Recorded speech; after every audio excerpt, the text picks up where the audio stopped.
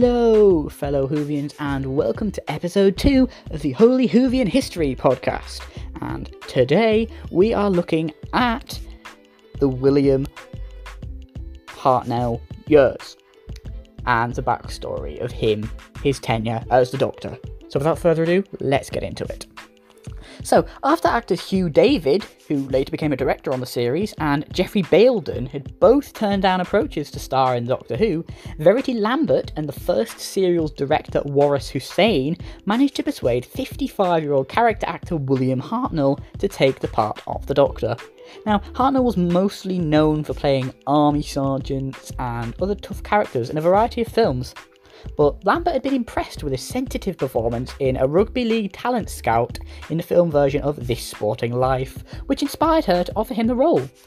Now, Hartnell's doctor would initially be accompanied by his granddaughter Susan Foreman, played by actress Carole Ann Ford, originally to have been merely a travelling companion, but with a family tie added by Coburn, who was rather uncomfortable with the possible undertones the relationship could carry were they to be unrelated. Yeah, he didn't really think much of his audience, did they? Hmm. Anyway, they were joined in the first episode by two of Foreman's school teachers. Barbara Wright, played by actress Jacqueline Hill, and Ian Chesterton, William Russell, of course, the famous speaker of the London 1965 meme. From contemporary 20th century England, now, this remained the lineup of the series for the entire first season, but over time the regular lineup would change regularly as the Doctor's various companions left him to return home, having found new causes on worlds they'd visited or had elected to stay there, or even occasionally being killed off. Hmm. However, he would always quickly find new travelling companions. Such characters were used by the production team to relate the point of view with the viewers at home, asking questions and furthering the stories by getting into scrapes and the first pilot episode of the series, An Unearthly Child, had to be re recorded owing to technical problems and errors made during the performance. Uh, most notably, the TARDIS doors opening and shutting randomly, and dodgy camera work. It just wasn't great. See Adventure in Time and Space for how that happened. And also, by the way, that initial pilot episode is featured on the DVD of An Unearthly Child. So during the days uh, between the two tapings, changes were made to costuming, effects, performances, and script, which had originally featured a more harsh, callous Doctor, and Susan doing rather unexplained things, such as flicking ink on paper and folding it to produce a symmetrical pattern, and then tracing shapes over the pattern. Now, the second version of Unearthly Child, the first episode of the very first serial, was transmitted at 5:15 p.m. on the 23rd of November 1963. But due to both a power failure in certain areas of the country and the overshadowing news of the tragic assassination of US President John F. Kennedy, it drew minimal comment and was repeated the following week immediately before the second episode. This was a particular request by Verity Lambert to Sidney Newman.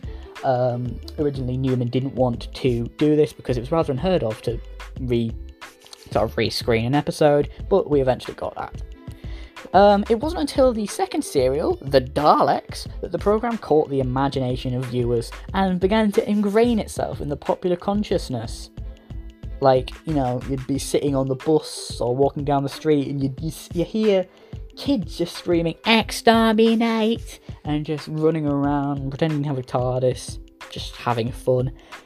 You don't really see that nowadays, do you? Hmm. Now, this was primarily due to the Dalek creatures introduced in this story. Devised by scriptwriter Terry Nation and his designer Raymond Cusick, they were completely unhumanoid and like nothing that had ever been seen on television before.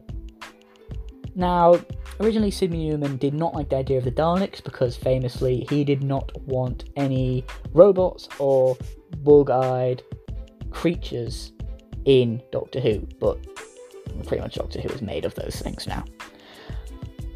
Lambert had in fact been strongly advised against using Nation's, Nation's script by her direct superior Donald Wilson, but used the excuse that they had nothing else ready to produce it.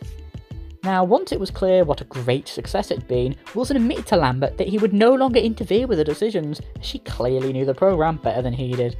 Wise choice, Wilson. Now, Hartnell's doctor wasn't initially paternal or sympathetic. He described himself and Susan simply as wanderers in the fourth dimension. He was cantankerous, bossy, and occasionally showed a streak of ruthlessness. However, the character mellowed as he grew closer to his companions, and he soon became a popular icon, especially among children who watched the series. This alteration in the portrayal of the Doctor began during the fourth serial, the infamous Marco Polo. The Doctor's role was minimal during episode 2, The Singing Sands, and from a later episode, his portrayal of the character mellowed considerably. The programme became a great success, frequently drawing audiences of 12 million or more and the Daleks came back for several return appearances and are now the most iconic villain in Doctor Who. Whitaker left the show early in the second season, though he continued writing it until 1970, being briefly replaced by Dennis Spooner, who in turn was replaced by Donald Tosh at the end of the season. Pinfield also left halfway through the season due to poor health, but he was not replaced. By the time of the third season in 1965, however, some difficulties were beginning to arise. Lambert moved on to be replaced as producer by John Wiles, who didn't have a good working relationship with Hartnell. Now, the lead actor himself was finding it increasingly difficult to remember his lines because he was sadly suffering from the early stages of the arteriosclerosis that would later cause his death. Wiles and Tosh came up with a way of writing Hartnell out in the story The Celestial Toymaker, which we only actually have one episode of now, by having the Doctor made invisible for part of the story, intending that when he reappeared, he would be played by a new actor. However, Wiles was forbidden to replace Hartnell by the new head of serials, Gerald Savory. What good name. Wiles had also hoped to make other bold changes, such as introducing a companion with a Cockney accent, which was vetoed, he was told all characters must speak BBC English. Yeah, I don't know if a Cockney companion would have worked. Uh, and resigned shortly afterwards, allegedly after learning that he would be sacked at the end of the season. I mean, okay.